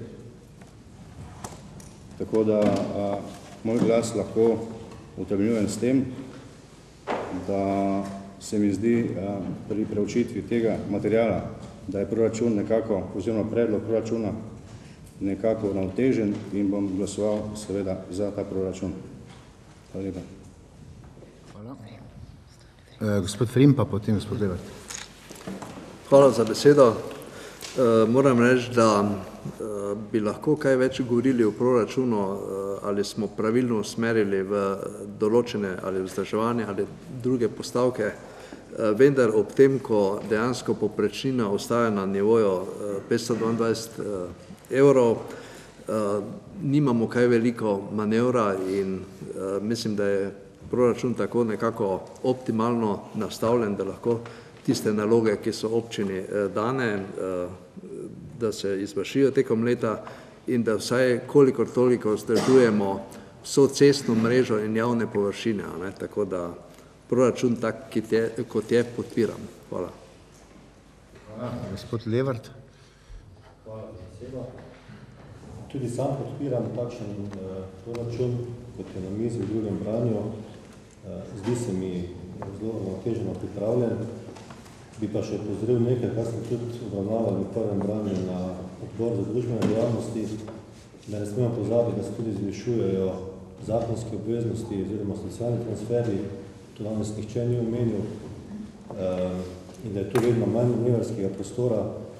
Poleg tega se mi pa tu zdi redno pohvalno in dobro, da proračun za 2016 ne jemlje sredstev društvom in organizacijam v naši občini, To se mi v tem konfliktu zelo pomembno, zato pomembno ta predlog podprl. Hvala. Še želi kdo razpravljati? Gospod Satler. Spoštovani, govorimo o zelo pomembnem uh, dokumentu občine. Vesel sem, da je bila razprava v različnih smereh, ne na zadnje, ko reče kolegi na drugi strani, pa z te strani. Vsi smo razpravljali o stvarih, ki se tiče naše občine. Ne na zadnje, se tu zastopamo naše občanke in občane. Razpravljali smo o vrcih, o mestnih hedrih, vesel sem tudi, da celo drugač, ko gledam to postavko, gledam na to, da se je razširilo ta postavka, torej mestna jedra in druge javne površine, se bojim, da šel premalo denarja za, za, ta, za ta del, če je tu resna namera tega. Ko sem čital poročilo za lansko leto, tudi no, ti bilo, to so samo tri krajevne skupnosti omenjene, torej 16 krajevnih skupnosti. Ja, tako da, če bo to ostalo na tem nivoju vzdrževanja, se še bojim, da še bo premalo denarja. Tako da, če razložim, obrazložim svoj glas, jaz bom podprl ta proračun predvsem zaradi tega, ker se mi zdi, da je to izrabljeno tista, tista volja in pa predvsem med prvim in drugim branjem so bili določeni odgovori dani, tako kot predlagatelj tudi povedal, se pravi vrci, potem so to mestna jedra in pa predvsem tisti del, ko je prišel tudi z te naše strani, če se tako delimo, naši pa drugi, teh 20 tisoč evrov za vzdrževanje ja, torej, po teh infrastrukture, ki je v lasti krajavnih skupnosti. To se mi zdi en segment, ki je podhranjen v tej naši občini in se mi zdi to zelo dobro. Želel bi pa, da se to res zgodi v prvi polovici leta ali prej meseci, tako je prej gospod Župan povedal, ker ipak to vpliva tudi na samo funkcioniranje krajavnih skupnosti oziroma same finančne plane in vse ostalo, kar pač sledi temu, če teh sredstev ni tako da bom podprl. Pa hvala. Hvala. Gospod Gumzaj. Moje imeno. Uh, jaz ne bom začel s takim tonom, da smo se malo zagreli, ampak mi nismo za to, da bi odločili, ali 522 evrov dovolj ali ni dovolj. Jaz mislim, da tudi, če bi bilo 700 evrov, ne bi se verjetno indeksacija vse posod enakomerno zvišala in bi se zelo malo steklo v kakšne druge postavke, ki pač niso uh, predvidene z takega drugačnega načina. Po vsej verjetnosti bi se dalo marsikatero stvar racionalizirati in optimalizirati. Uh, moti me pa tako, že prej tule kolega povedal, da se recimo niste mogli sestati ene iz župana ali pa da bi župan povabil vse predstavnike svetniških skupin in bi skup to malo to rekli določene zadeve, kjer pa je verjetno dost manevrskega prostora. Vse cilje imamo približno vsi enake, samo poti do njih so zelo različne. Hvala. Hvala. Gospod Kolar. Hvala za besedo. Jaz sem pa do proračuna opredelil do konkretnih postavk in sicer bom malo kronološko en dve zadeve pa vseeno razložil. O predstavitvi na odboru za gospodarstvo in turizem sem kot predsednik in kot član tega odbora pač tisti proračun podprl. Tudi v prvem branju sem ga podprl, s tem, da smo vmes imeli tudi sejo odbora za gospodarstvo in turizem. Na tisti eni seji smo tudi naredili ogled lokacije Trebnika, kjer so nam bili predstavljeni stroški in razvoj adaptacije, se pravi obnove in na koncu tudi predviden plan za naprej, oziroma da plana pravzaprav ni. Ne. Uh, zdaj tukaj noter v tem proračunu se pojavlja postavka, ki zvišuje uh, stroške za, za dvorec Trebnik za 22.600 evrov, če sem čisto točen, ja, 22.600. Uh, in zdaj je pa v bistvu razlog ta, zakaj se v bistvu ne morem podpreti tega proračuna. Mi smo na seji sprejeli sklep, za katerim bi želeli razumeti, kakšen je načrt ravnanja z dvorcem Trebnik in kakšen je terminski plan priprave novega razpisa, ki ga že leto pa pol ni bilo. Predočeno nam je bilo, da so stroški vzdrževanja 600 evrov na mesec oziroma cirka 8 tisoč evrov na leto. Zdaj pa vidimo, da se ta postavka tukaj not povečuje brez nekega idejnega načrta, kaj s Trebnikom sploh hočemo. Se pravi, hočemo verjetno razpis. Zdaj ne bi šel v detajle, na kak način nam je bilo predstavljeno, zakaj ni razpisa, ker bo malo izgledalo neokusno, ampak jaz mislim, da, da, da občinska uprava mora narediti načrt oddaje tega objekta v najem in začeti zaračunavati najemnino potencialnim najemnikom, ne pa da vlagamo noter dodatne stroške in posredno, zdaj me je prej zbodlo, jemljamo denar tudi društvom in vsem ostalim. Jaz mislim, da je bila to bistveno boljša postavka za, za, za pokrivanje nekih, oblikovanje nekega sklada ali pa subvencioniranje mogoče cene javne komunalne službe. Zato zdaj razložim svoj glas, zakaj sem vzdržal. zaradi neporočanja odboru za gospodarstvo in turizem, kakšen je namen zaravnanja z dvorcem Trbnik. Drugi del je pa v bistvu proračunska postavka za nadzorni odbor. Jaz sem zelo vesel, da se je pojavil ta program dela nadzornega odbora. Žalosti me, da je narejen za leto 2016, ker 2015 je pač žal mimo in 2015 nismo imeli praktično nobene realizacije.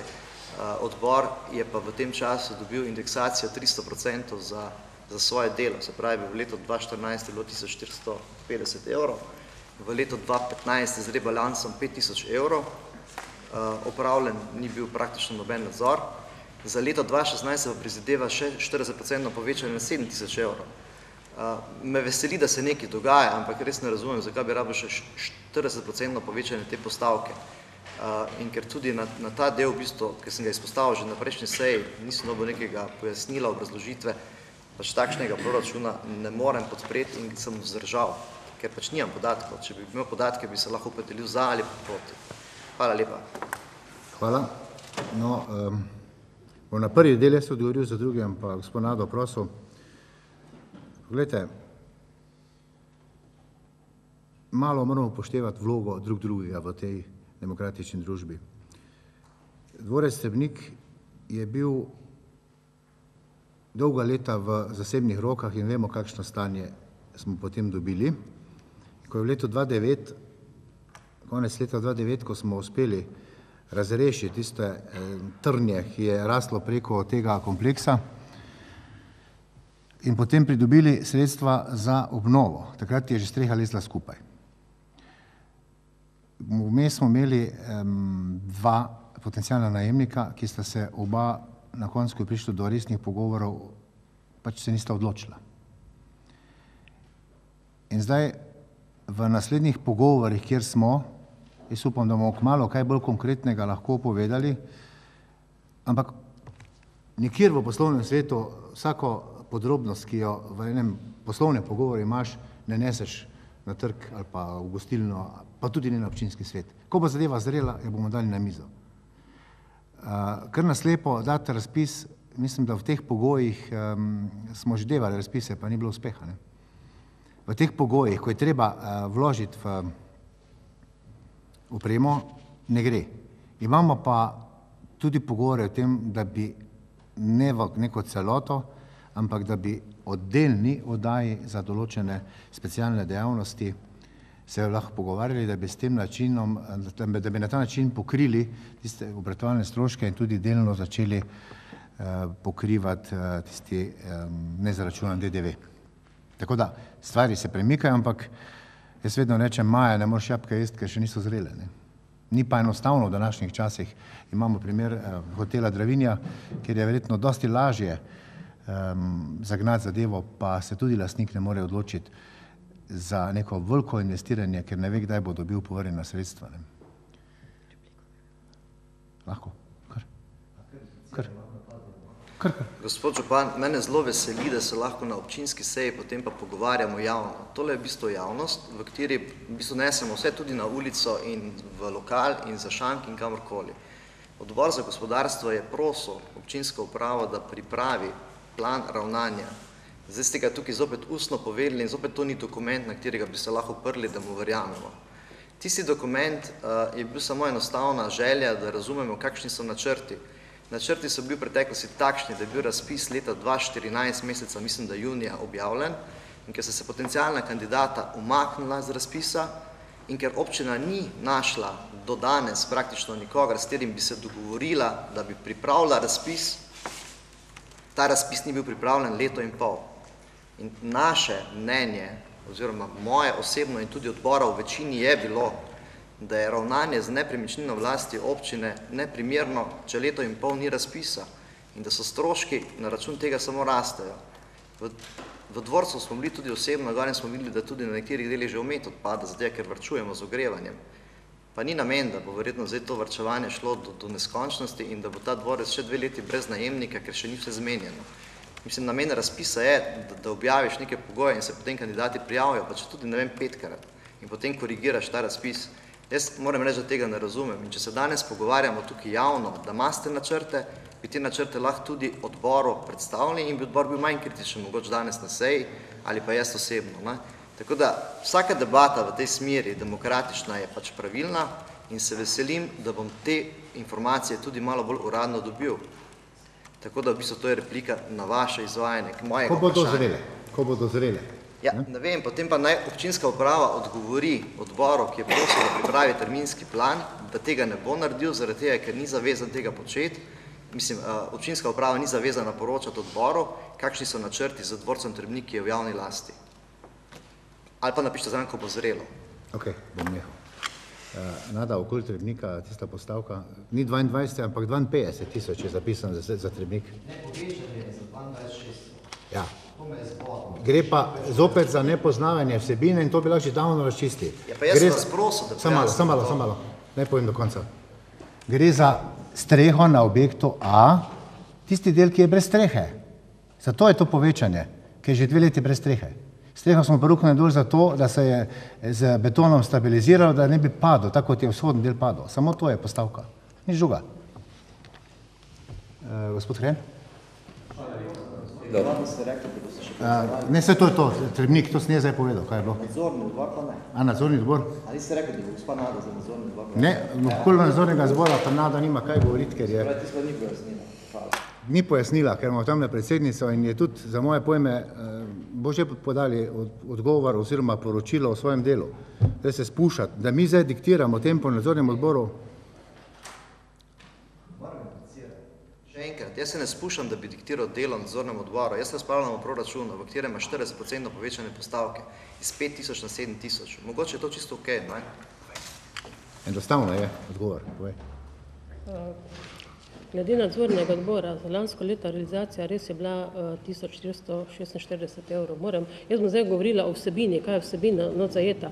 V bistvu so tu not uh, zajete uh, senine ki za tiste seje, ki si jih je nadzorni odbor imel. Letošnji plan, vemo, da je lansko leto bilo volilno leto in da se potem verjetno tudi iz tega razloga nekako ta tempo umiril, pa potem čas, ko je od volitev pa do formiranja novega odbora. Na, glede na um, novi plan, je bil upoštevan predlog, ki ga je nadzorni odbor dal, koliko bo letos realizirano, bomo videli pri zaključnem računu. Tudi tu lahko rečem, da glavnina je, uh, gre za te senine uh, in za leto 2017 je pa tudi bil uh, uh, predviden njihov uh, predlog in smo to not zapisali. Tako da več pa verjetno lahko tudi predsednica sama pove, kaj so oni v planu v teh 7000 uh, evrov zajeli. Poleg senin verjetno tudi še kakšne materialne stroške. Prav, uh, gospod Hren? Vse skupaj lep dober večer, hvala lepa župan za besedo. E, proračun je, kakršen je pred nami, z, pač s temi sredstvi. Vsi od nas smo na nekaterih postavkah nezadovoljni in vsi bi želeli več. E, sam moram reči, da glede kot predsednik odbora za podeželje, absolutno bi želel, da bi bilo na postavkih eh, kateri zajemajo podeželje več denarja. Se je malo poboljšalo glede eh, društev, kot smo rekli, da bomo zaščitili saj to civilno življenje v eh, občini, tako da bo pač eh, možno delovanje teh društev na podeželju in drugod. Eh, Po drugi strani pa za direktne projekte pač je manj eh, ostalo denar isti, kot je. Vendar upamo, da bo v naslednjem času tudi ta občinski svet prisluhnil in da bomo v bodoče eh, lahko na tem področju zagotovili nekaj več denarja, kar bo obvezno treba.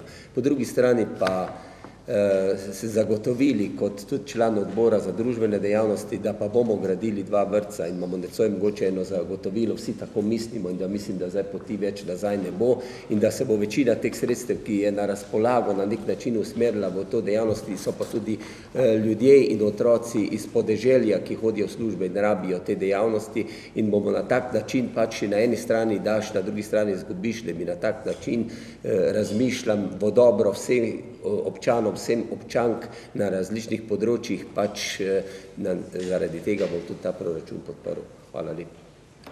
Hvala. Še želi kdo besedo? Gospod Ofentavšek. Za besedo bom kratek eh, glede na eh, prvi predlog proračuna in pa na današnji predlog. Se vidi, da so tu tudi bile nar- naredite gotove korekcije oziroma spremembe. Moram povedati to, da je svetniška skupina SDS-a se pri prvem baranju in zdaj pri drugem sestala in to temeljito obravnavala. na gotove zadeve tudi upozorila. In glede na to, da je eh, tako, kako ste že vsi povedali, denarja premalo, vsi bi ga za, za vse radi imeli več, ampak kljub vsemu temu naša svetniška skupina se je odločila, da glasuje za ta proračun. Hvala lepa. Hvala. Še želi kdo besedo? Ugotavljam, da ni več razprave, zato predlagam občinskemu svetu, da spreme odlok o proračunu občine Slovenske Konjice za leto 2016. Kdo je za sprejem?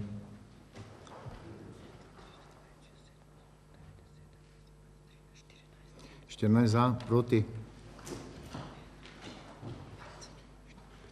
Pet pa proti. Ugotavljam, da je proračun za leto 2016 sprejet z 14 glasovi za in petimi proti. Hvala lepa poročevalki. Mi pa prehajamo na tretjo točko, to je predlog sklepa o vrednosti elementov za izračun prometno vrednosti stanovanjskih hiš, stanovanj in drugih nepremičnin in o določitvi odstotka od poprečne gradbene cene, s katerim se določi korist za stavbno zemljišče za leto 2016 in pa predlog sklepa o določitvi izhodiščne vrednosti točke za izračun nadomestila za uporabo stavbnega zemljišča za 2016 ter predlog sklepa o vrednosti točke za izračun davka od premoženja v občini Slovenske Konjice v letu 2016. Predlagam, da uvodno predstavitev opravimo za vse tri eh, dokumente oziroma za vse tri sklepe in tudi eh, poročevalci povejo za vse, potem pa seveda glasovanje je pa ločeno po, po vsakega posebej. Uvodno predstavitev pa eh, naš pravnik Zdenko Plankl. Hvala za besedo. Leto je na okoli in za uh, konc leta zmeraj sprejemamo te vrednosti točke. To se pravi, moramo sprejeti, to se pravi, tri točke. Prva je uh, vrednost točke za začun prometne vrednosti stanovanjskih hiš, stanovanj in drugih nepremičnin in odločiti odstotka poprečne gradbene cene. Tu se upošteva gradbeni, in, uh, gradbeni indeks, uh, s katerim se določi korist za stavbno zemljišče. Ta se mesečno revizira. Osnova je podlaga indeks račun za zito gradbena cena, katerega vsak mesec izračunava zbornica gradbeništva in industrije gradbenega materiala. In od lanskega leta do nekje konc novembra letošnjega leta je ta indeks nekje povečan za 0,82, kar pomeni, da se poprečna gradbena cena glede na lansko leto zviša iz 762,57 na 768,82. To vrednost predvsem uporabljajo ocenilci. Potem vrednost stavbnega zemljišča se pa poveča iz lanske 8,39 na 8,46, to je pa neka osnova za delo občinskih upravnih organov, ko imamo razne prodaje raznih funkcionalnih zemljišč in glede te menjave prodaje starih občinskih cest in nekje ta vrednost nekje osnova za, za delo občinskih upravnih organov. Glede na, glede na mnenje oziroma predlog Svetovno-pravne komisije smo tudi dodali materialni predpis, ki bi pač naj bil osnova za sprejem tega, tega sklepa. Imamo za vse tri? To je prva, spekaj vse tri. Kar vse tri obrazložitev pa bomo. Druga je vrednost točke za nadomestilo za uporabo stavbnega zemljišča. Tu se upošteva indeks rasti, to se pravi življenjskih stroškov. Tu ugotavljamo, da od lanskega leta, to se pravi od nekje od lanskega leta, ko smo to sprejemali, pa nekje do konca novembra je indeks, ta indeks nekje nula, celo je skoraj se nagiba negativnimi vrednosti, zato ne predvideva, to se pravi ne predvideva se povišanje glede na leto 2015. Isto je pa tretji, to je davek na premoženje, to se pravi z razdelitvijo zakona o davku na nepremičnine se, se ponovno uporabljajo te določbe tudi za davek na premoženje, tudi tu se kot osnova jemlje ta indeks za življenjske potrebščine in tudi tu, ker je pač negativen oziroma je nula, se ne predvideva povišanje in ostaja na ravni 2015, to se pravi 1,73. To je to, uvodne obrazložitve.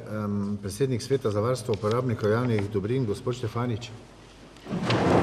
A, za vse tri. Za vse tri, ja, pa Vse pol- tri. ja. Svet za varstvo uporabnikov javnih dobrin predlaga občinskemu svetu občine sprejem vseh treh sklepov.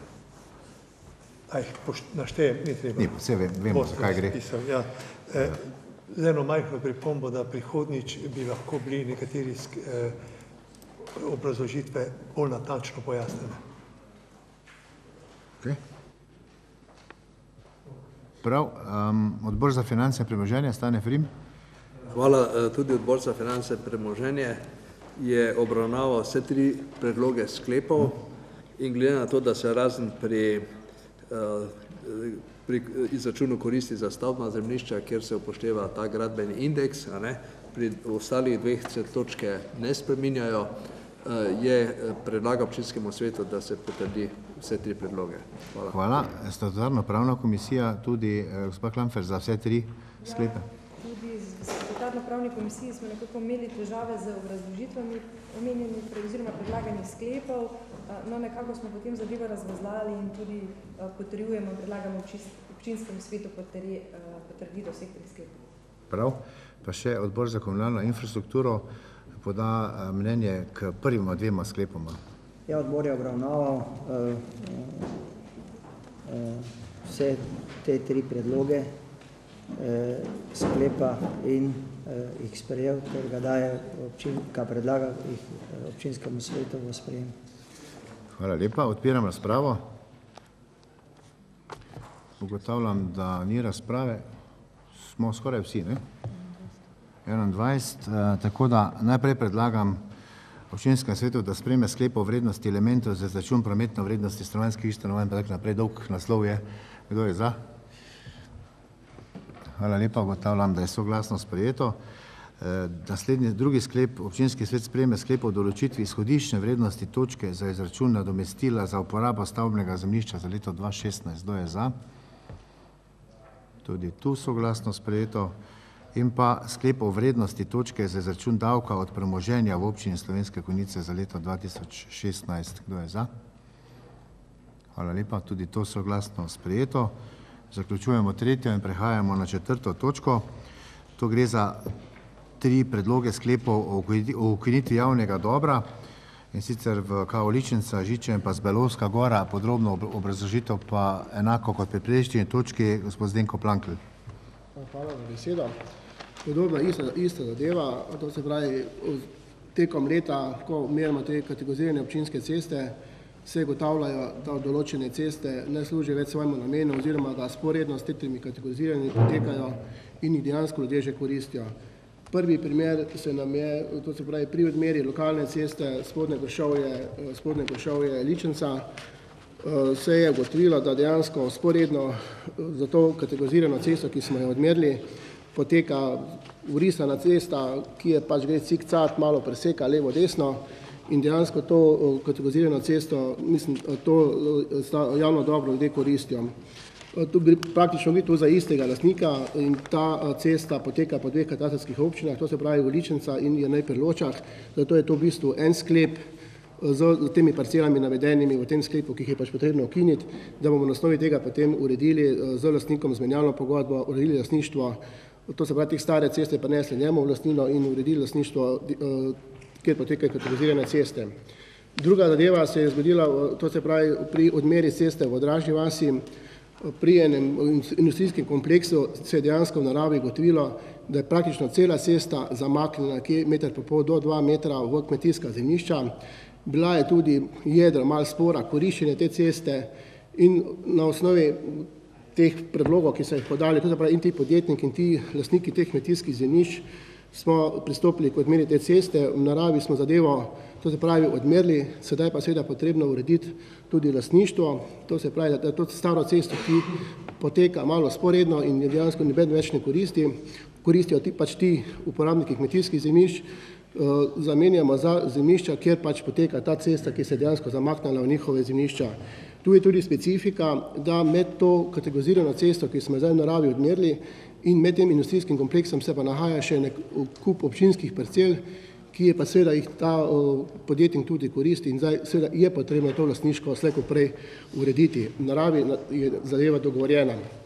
Tretja zadeva se pa pojavlja v Zbelovski gori, to je popolnoma isti primer, eh, to je daljši odsek ceste, kilometer pa pol, ki praktično poteka po, lastništvu enega lastnika in smo na terenu za- zadevo uredili, sedaj pa treba isto urediti, to se pravi izbris teh starih cest. Eh, Na predlog Svetovno pravne komisije, in to je tudi eh, pravilno, bo, to se pravi po sprejetju teh sklepov, ki bo objavili v uradnem listu, se bo potem tudi izdale te ugotovitvene odločbe, ker bomo tudi tem eh, parcelam podelili, sta, ukinili status grajenega javnega dobra. Hvala lepa.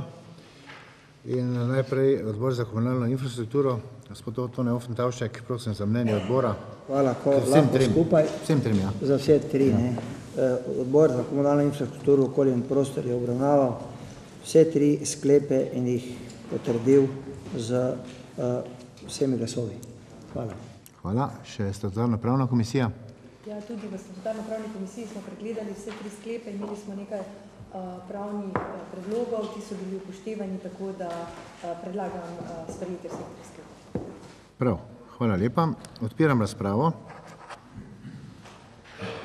Ugotavljam, ugotavljam, da ni razprave in predlagam občinskemu svetu, da sprejme najprej sklepa ukinitvi statusa grajenega dav- javnega dobra za zemljišča v KO uh, Ličinca in pa KO Jernej, prvi sklep, tako kot je v gradivu. Kdo je za? Hvala lepa, soglasno sprejeto. Naslednji sklep o ukini- o ukinitvi statusa grajenega javnega dobra za katastrsko občino Žiče. Kdo je za? Hvala, soglasno sprejeto. In pa sklep o ukinitvi statusa grajenega javnega dobra za katastrsko občino Zbelovska gora. Kdo je za sprejem? Hvala. Ugotavljam, da je tudi to, ta sklep soglasno sprejet. Hvala lepa poročevalcu. S tem smo izčrpali redni dnevni red in prehajamo še na zadnjo točko, vprašanja in pobude. Mogoče najprej jaz bi uvodoma sem pozabil povedati, da so vas na mizi pričakala darila vrtca Slovenske konice, javnega komunalnega podjetja in pa osnovne šole Loče. Um, napovedal bi naslednjo sejo 28. januar, predvidoma ob 18. uri tukaj v teh prostorih. Vas povabil na silvestrovanje 31.12.2015 na mestnem trgu, prej pa seveda, da se udeležite dogajanja v okviru zimske pravljice, ki bo še posebej aktivna po, po Božiču od pa tja do Silvestroga. In pa, da vam vsem skupaj, danes je 25 let od eh, plebiscita, eh, čestitam ob dnevu samostojnosti in enotnosti še- 26. decembru in bi si predvsem želel tisto drugo, drugi del, samostojnost, ja, ampak enotnost bi si želel. Pa mogoče še ena informacija, ki je v mestnem, dokaj na hitro se je zgodilo, um, namreč eh, direktor občinske uprave Slavko Pačnik odhaja s 1. januarjem na drugo delovno mesto. Razpis za izbiro novega direktorja je v teku, pravzaprav v zaključni fazi, ampak kot sem prej dejal, vse v svojem času, ko bo zadeve pravnomočne, se bomo pogovarjali okrog tega naprej.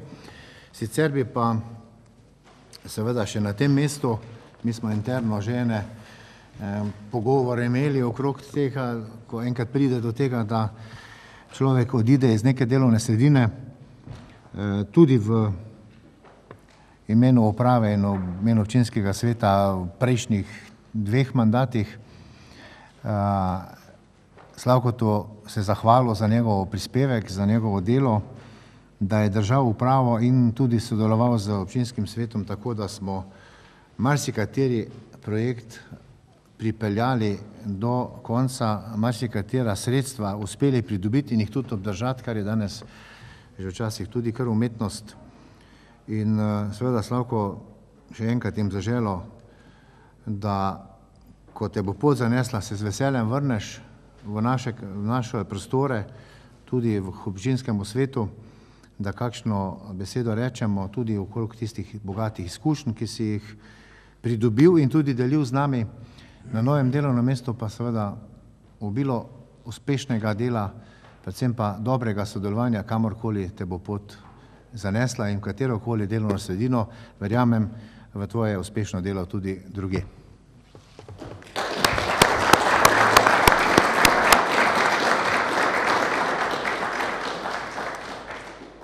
Vprašanja in pobude svetnikov. Gospod Satler. Kot pobuda, ne rabim pa odgovora. Vprašal je predsednika Kvija, zakaj za božjo voljo se dogaja, da že na drugi seji, ko ste omenili, niste mogli se zmeniti za predstavnike eh, za svet šole, spodne pa zgornje, ne. Vem, da gre za pomembno funkcijo, tudi sam sem član sveta šole v Ločah, ampak tako pomembno, da se pa celo občina moga tresti, pa res ne. To je... Dajte, eh, po dogovoru, da nismo, bi rekel, oziroma na eno prejšnjo sejo, ne, pa naše neke pogovore, da, da bi bilo dobro malo počakati, pa se dogovoriti, bi to bilo dogovorjeno in bi danes bil predlog tu. Vendar so kolegi moram reči, gospod Zvidenšek tam, ne, mislim, da je z vaše strani pravzaprav prišla pobuda, da naj ne bi imeli. Župan je pa to prav odločenje ocenil, da nima smisla hiteti, ker je dovolj časa, je pa res malo špasno. No. Besedo. Gospod eh, Štefanič. Imam vprašanje za dva gospoda. Niti ne pričakujem odgovorov. Namreč zanimivo je spremljati za svojega poklica, ki sem ga dolgo let upravljal, desetletji celo, novice. In potem, denimo v novicah 3. decembra preberem tole med drugim. Eh, kolega Tone je rekel, pa v zadnjih letih smo samo za centralno čistilno napravo potrebovali več kot 10 milijonov evrov.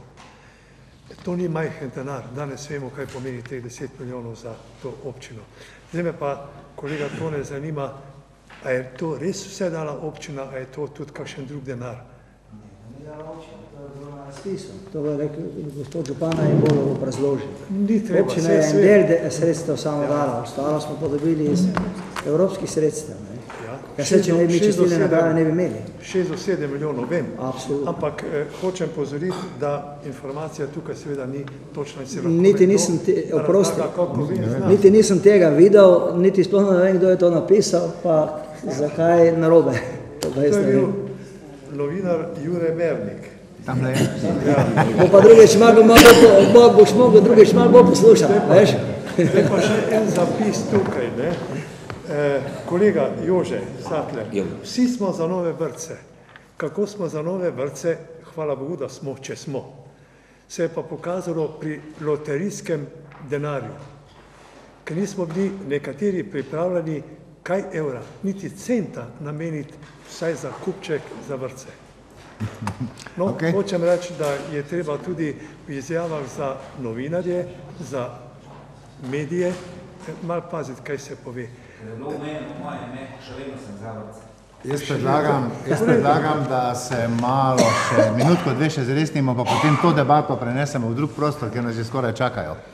Če še kaj takega, Hvala lepa. če ne, se vam zahvaljujem in vas zaključujem sejo in vas povabim na drugo stran, da še tam kakšno debato udarimo. Hvala lepa.